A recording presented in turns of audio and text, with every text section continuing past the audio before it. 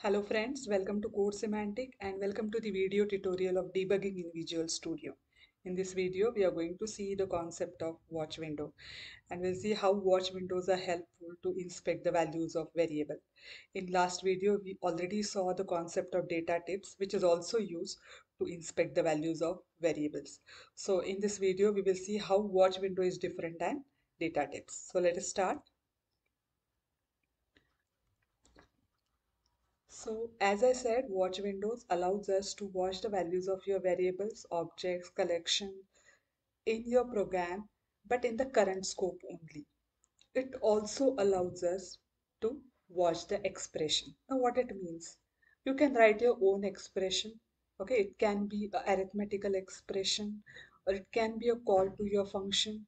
That values are also easily observed in your watch window and if you are aware of the concept of LINQ okay LINQ also allows us to create an expression.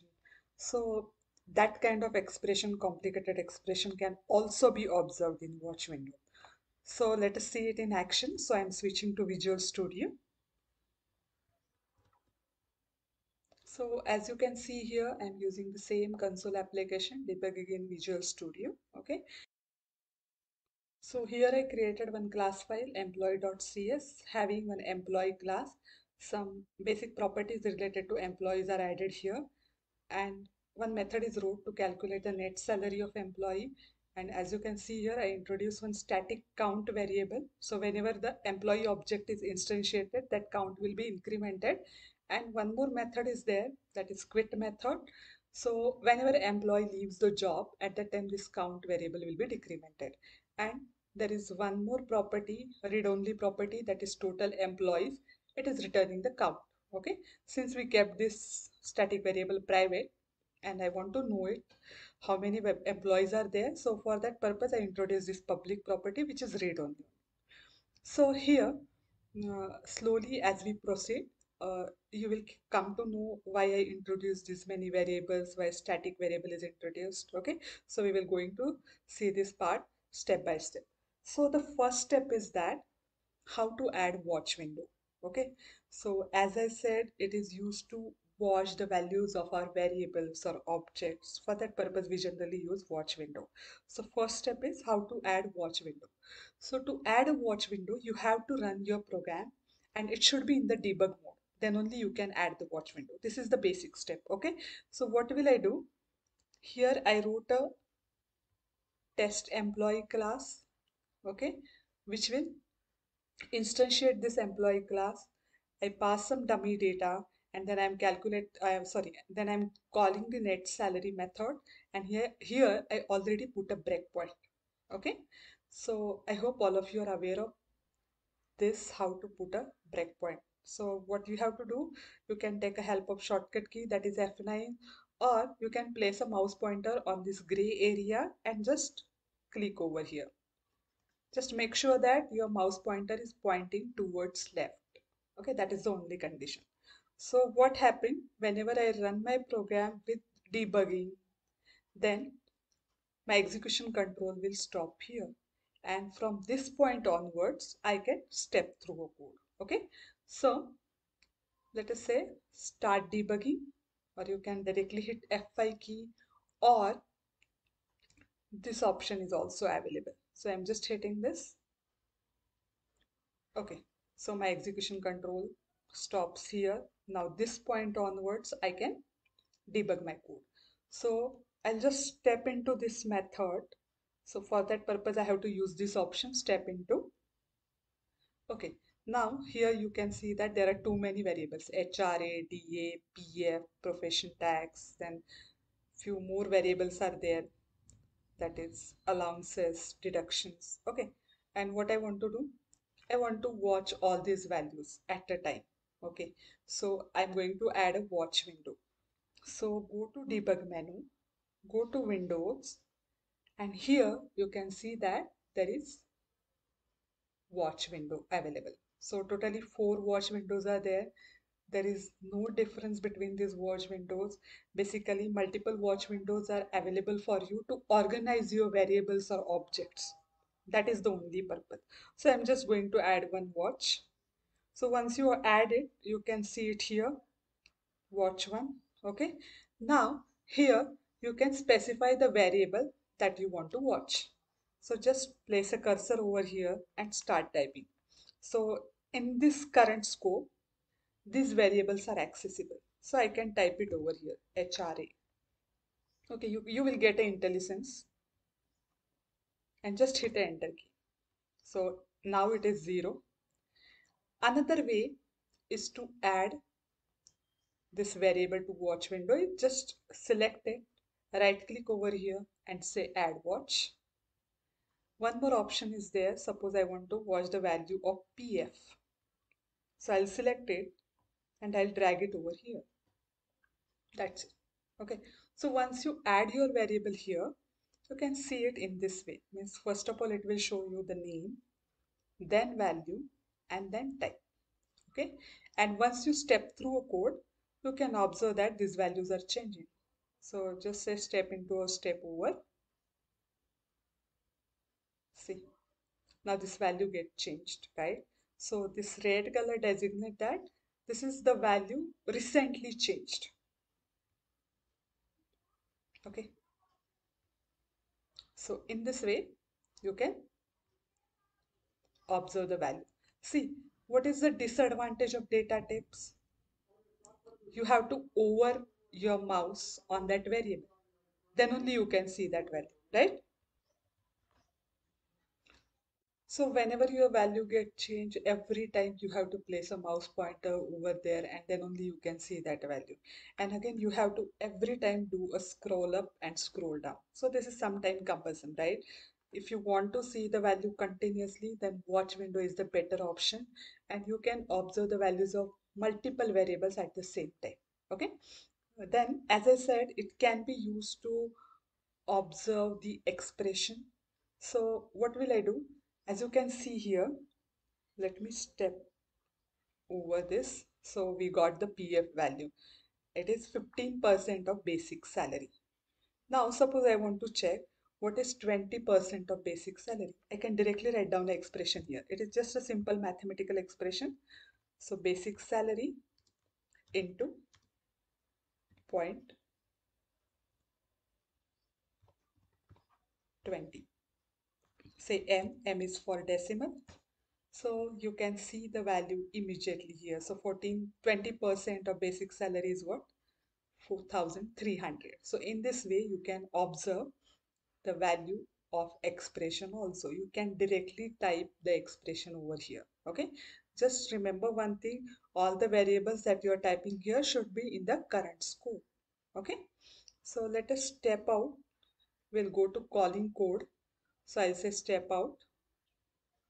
Now once we are in different method, right? Before this we are in net salary method. Now we are in the main method. Okay. You can see that this section get turned into gray color. Basically, these variables are not in current scope now. Okay.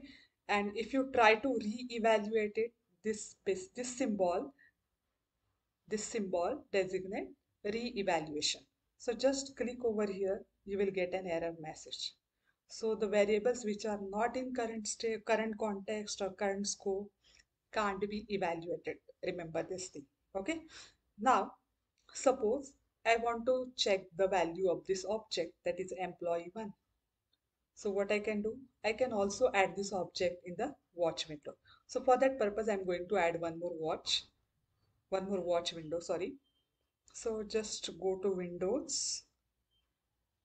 Remember this thing that this watch window is available during debugging only. So just go to watch 2. So one more watch window get added. Okay. It's already there. What will I do? I'll remove it. I'll show you how to remove it also. So just right click over here and delete watch. Say delete watch. Or if you have multiple watch variables added here, so you can select all and then you can say clear all. So anything is a feasible option. So here what will I do? I'll just select it and I'll drag it over here. So since it is an object you can expand it and you can observe the value of this properties. Okay? We have some static members also. So you can see this here. Total employee is read-only property and count is a pro private static variable. Okay. And just we created a single object. So it is showing the count one. Once I create another object, I'll say step into. Once I create one more object, okay, this count variable get incremented by one. See. Now you can step into this net salary method and you can observe the variables in that particular method. Okay. So if you want to observe it, just switch to first watch because we already kept that values there. So just say step into. Okay. Once you move to this method, this particular variables get activated. Okay. Something in enable state and you can observe their values. See. Okay. Now, I want to show you one more thing. Say I'll drag, drag this basic salary also. You can edit this value here. Okay. Say I'll make it 32,000. Now this point onward, okay, this point onward, the basic salary value will be 32,500. So you can also use the watch window to alter or to change the value of your variables. So in this way you can perform experiments on your data and you can write the expression. And even while debugging you can take a decision that which code will be more suitable. Okay because here what happened while watching this data it will helps us to write a code okay? So you can build your expression here. So that is the most biggest advantage i'll say of watch window. Okay? See. Now pf is something. Pf is still not calculated. Yeah. Pf is 4875 okay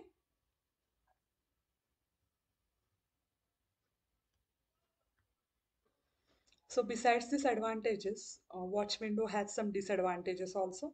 So instead of disadvantages, I'll say a side effect of watch window. Okay. So as I told you, we can evaluate the expression. Similarly, we can call a method also from watch window. So let me show you. Here I'll say emp2 dot net salary. So here what you are doing, you are evaluating method through watch window means basically the code under this net salary method get executed and then you got this result. Okay. So this method is not harmful because it is not altering my basic data. But there are some methods which may alter or change our basic data. Okay. So in the beginning of this i told you that i have one quit method which is changing or which is decrementing the static count okay? So if you observe here basically we created two objects of employees. So my count is 2 here. So if we check employees dot total employees. This is static property. So we have two total employees. Okay? When we are calling that quit method whenever any employee leaves the company at that time that quit method will be called. And what that quit method is doing? That quit method is decrementing count by 1 now what happened if i call this method through watch window? That particular method get evaluated and my original data get affected right? It should get changed whenever it executes through program not through a watch window. So that is the side effect of our watch window. So let me show you. So what will I do? I'll add another watch window for this. Okay. Will not disturb this to watch window. So I add watch 3. Okay. Now, first of all, I'll add the total employees property in watch window. So we can observe the output. Okay. Currently it is what? It is 2. Now here I'll say employee dot quit. We know that what quit method is doing. Sorry, emp1 dot quit. Suppose employee one resigns the job, so I'll say emp1 dot quit. see what quit method is doing it is decrementing count by one and total employees method is showing that or returning that count value okay see what happened? It becomes 1 if I say emp2 dot quit again that count will decrease by 1 and now it is 0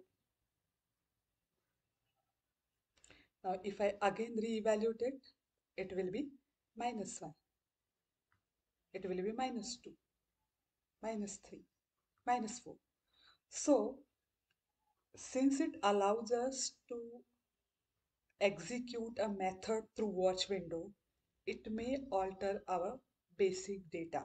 So be careful whenever you are evaluating any method through watch window. So that is the only side effect of your watch window. So whenever you're evaluating any method through watch window, be careful because as I said, it sometimes modify your base data and your program may end up with different output. Okay. I hope you enjoy this video and now you are aware of how helpful watch windows are and how effectively we can use it while debugging. So thank you for watching and happy debugging.